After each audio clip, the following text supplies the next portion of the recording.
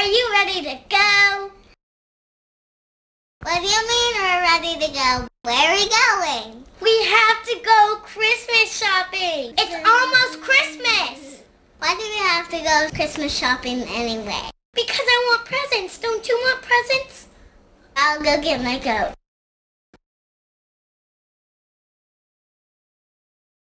Why do we need to go shopping if Santa brings us all our presents? Because. Because. Santa doesn't bring presents to Mommy and Daddy. How are you gonna pay for it? It's okay. I brought my credit cards. We can buy as much as you want. Okay, good. What does Mommy and Daddy want this year?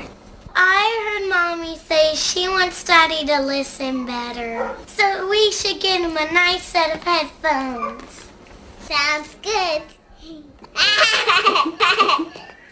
Daddy says Mommy watched too many soaps.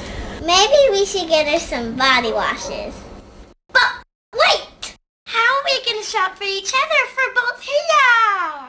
Our presents won't be a surprise. That is a good question. How about this?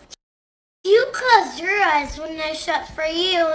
I close my eyes when you shop for me. Deal. Come on, let's hurry. Only 11 more days until Christmas.